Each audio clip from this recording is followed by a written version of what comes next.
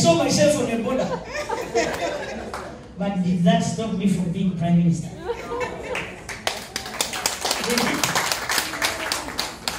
I thank the organizers for choosing to bring this retreat to Uganda.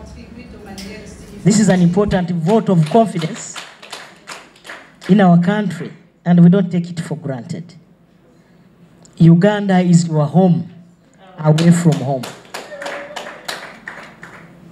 Friends, as women leaders, we have a very heavy responsibility to provide an example to the younger generation, to show them that with determination and focus, nothing is impossible.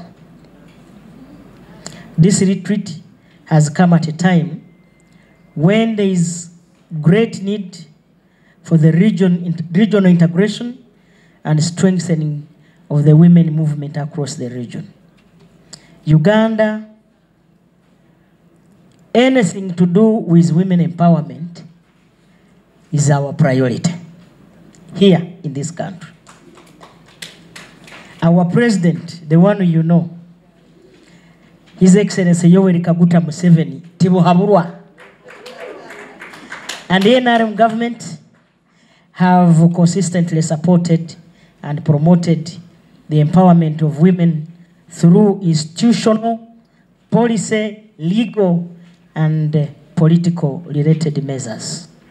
Our Honorable President um, Seven has tried to promote the agenda of women to a great extent.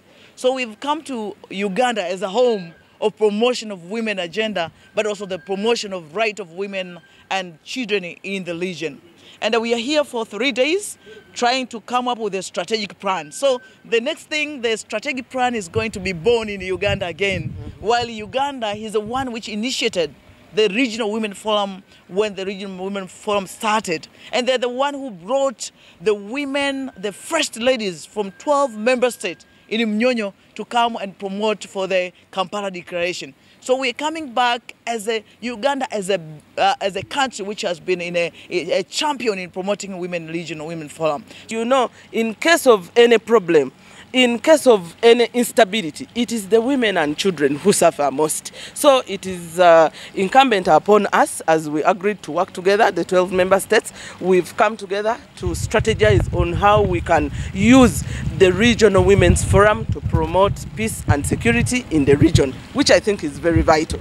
It is going to help us and help the women that we lead. And the coming of the Regional Women's Forum in Uganda cannot be taken for granted. They came here to benchmark. They see how uh, Uganda uh, does its. Let's go for